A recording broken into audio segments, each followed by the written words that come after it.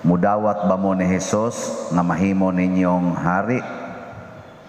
Mudawat.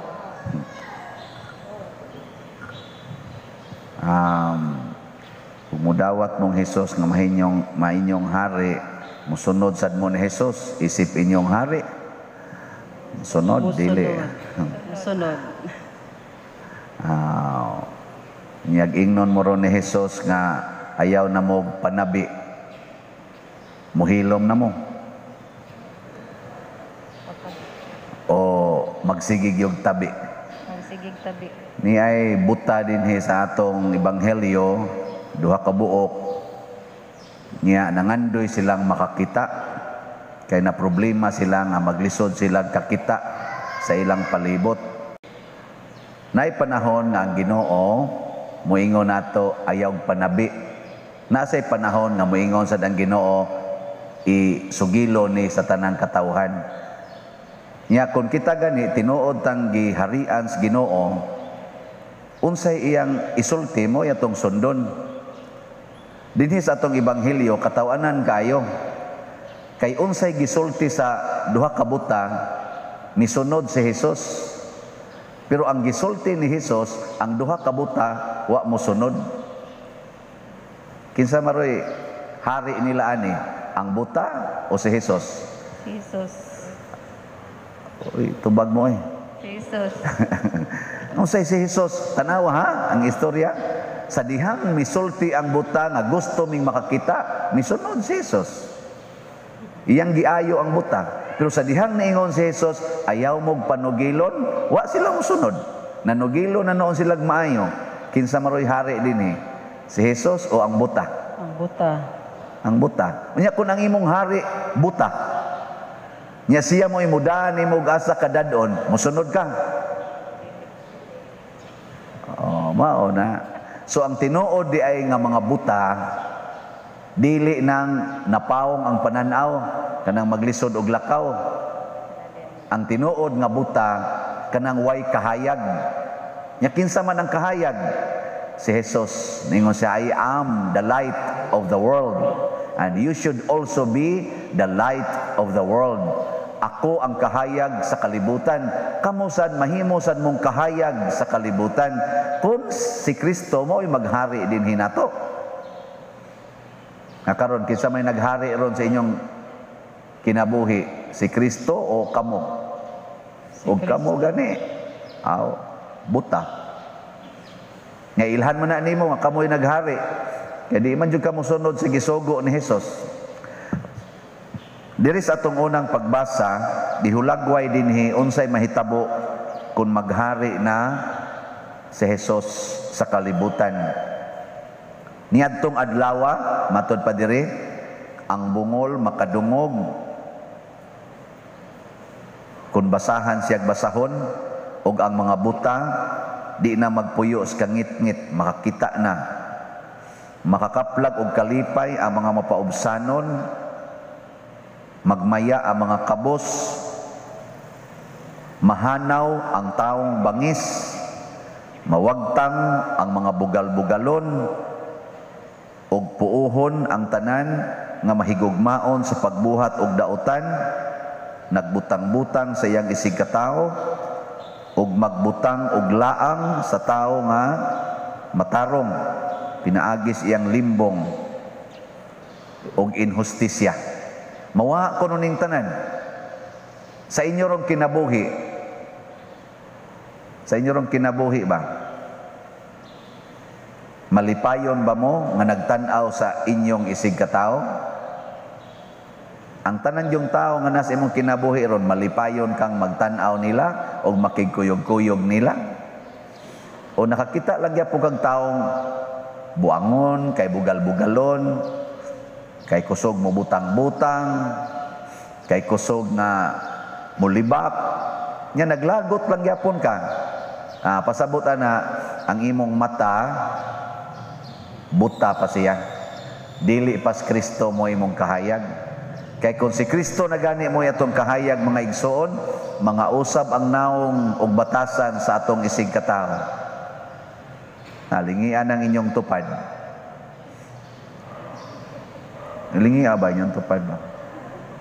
Kung sa may naong ana, nausab o maura gyapon. Para gihapon. Katong nailhan ni mo niya gahapon or sa una, maura gyapon ang naong nga, imong nakita, awa pa kahariis Ginoo.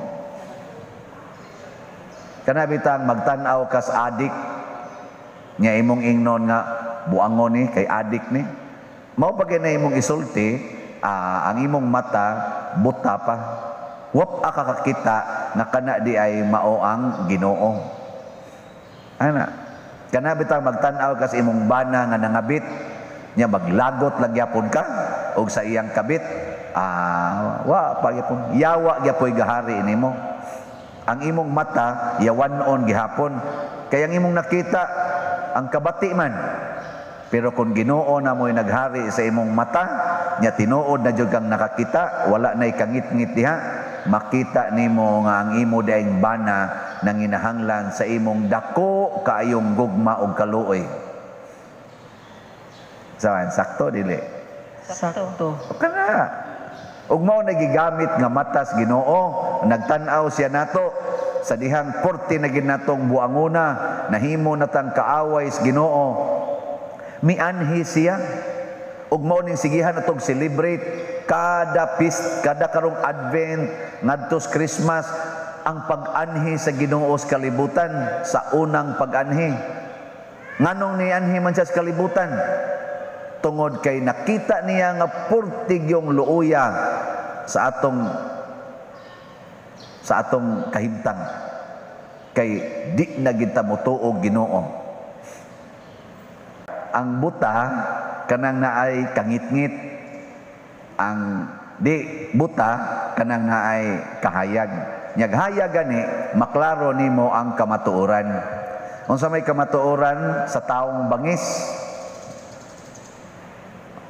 Ang taong bangis gibiktima siyawa giharian siyawa unsa may kamatuoran sa mga taong bisyoso sugal inom pamabay drogas gibiktima gyapon siyawa kung di na to makita ang yawa nga maoy nagkontrol diha di kita maluoy anang tawhana. Kakita kag tao nga gitabangag kulata porti ng bunoga. Unsa man tiwasan nimong patid? Imong tiwasan og dukdok kay nganong galigid-ligid sa yuta nga porti na nung hugawa maluoy ka oy kay nakakita man ka kinsay nagbuhat niyang naingon ana siya nganong nagkalapok na siya nganong nahugaw na siya nganong bati na kay na siya naong porti ng gusbata kay gikulata diag maayo Unya, kanang mga nangapriso, bati naman kay nagnaong. kanang mga adik siga naman kay nagmatag kagut na mangipon ana bati naman kay na sila naong mangawat naman na mang-rape naman na mang manulis naman na purti namang bati ag binuhatan ana. Nakakita ka ta kinsay kinsay nagdagmal nila? O ang atong nakita animal ni animal patya na patya na patya patya. Unya ang yawa imong gipatay. Oy, ang yawa naman noon mo'y gidawat, nahimo naman noon tang yawanon mo nang ningon si Kristo, mianhi ko para sa mga makasasala aron hatagan og kahayag ang naas kangitngit. Nya mao na ning panahon na kun mohari ang Ginoo nato, mao na ning panahon na nga makasinggit na ta. Matud pas atong tubag sa Salmo, samti tubag nato Salmo ang, Ang Ginoo Ginoo, mao ang akong kahayag ug akong kaluwasan. Nagpares ang kahayag ug ang kaluwasan. Kanang kahayag makaluwas pud na. Kanang kaluwasan kahayag sad na. Di ta pwedeng maluwas ug naas ngit-ngit. Ah, kanang mga manag-uyab, magkuyog na, unya anhas ngit-ngit, maluwas ka na, Hmm, sa maluwas. Bisag madrig pare, magkuyog, anas ngit-ngit, nya mangitag kaluwasan, na, patay yung bukasyon, ana. Mga seminarista, magsigig adto dito sa mga parokya, nya kuyog-kuyog sa mga youth, adto sa ngit-ngit. Nya kay nalagis Brad, kupti ko Brad, kay ngit-ngit, na, patay na si Brad ya. kanang inyong bana magsigig kuyog ngadto silingan nya ngit-ngit oh ihatod sa rin ako sa inday-day. Ngit-ngit man ihatod na ko unahan. Ah, mga hogi nas kanal. Nga naman, ngit-ngit man. Pero na na ang kahayag, makita nato ang mga kamatuuran. Ug hinaot unta nga dili unta ngit-ngit ang ato karong panabot, ang atong hunahuna ug kasing-kasing wa unta mabutas kamatuuran nga dinhis kalibutan karon purti nagyong paghari sa yawa. Nya ang atong gikalagutan ang mga nabiktima sa yawa nga nangabuta sad kay gibutahan sa yawa atong gikontrahan kanang inyong silingan nga porting istriktuhas iyang agianan niya gikural gyud. Wa na noon mo'y agianan maglisod na mo agi unsa may imong isulti ana? Istrikto o biktimas demonyo? Ingna na, biktima nas demonyo. Wa na siya kakita nga galisod tag-agi. Nga luuya niya no, nya madagma ka, dakdak imong sampot kay 14 taong lapo ka, ing kaluuya sa daning akong silingan eh. Wa man gid kakita nga lapo kay dire, butagin ni siya. Ana, amo na ini kakat gawas na niya sakay siyang sakyanan ka to anang buta nilarga na. Ana, Jadi imbis nga masuko kaniya, maluoy na noon kaniya. Nya unsaon na nimo para maulian siya siyang pagkabuta?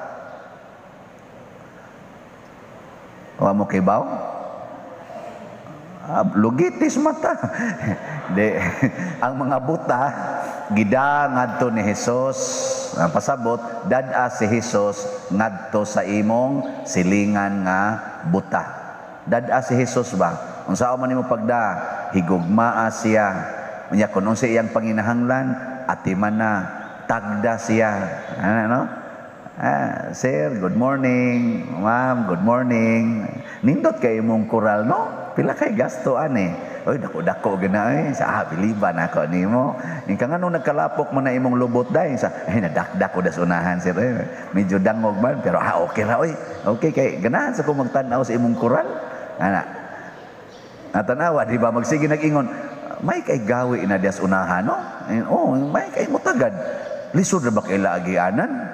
Dakdak ba to sa adlaw? Ato ka nang ipasiminto diha. Mingon to ang kan ba nga imong gitagad. Ato ka nang ipasiminto nga pasugan na nato. Anin dot na agianan nga to. Pero mahitabo ni mga siguro mga napo katuig nimong ayo-ayo niya. O na pa na siya madutlan. Pero sagdi lang. Madutlan naman gina madugay, di man na madiha-diha dayon eh. Father sa doy, dugay na lagi nila kung kitagad-tagad, wa man lagi mo ayo ang batasan. Ay ayaw sa ay dali-dali ah. Mga napo katuig, 20 katuig, igo-igo sad nga pagsiminto, ga wheelchair na sad ka. Pero may nalang di nakamaligid. Ah, sige, manindog na ta.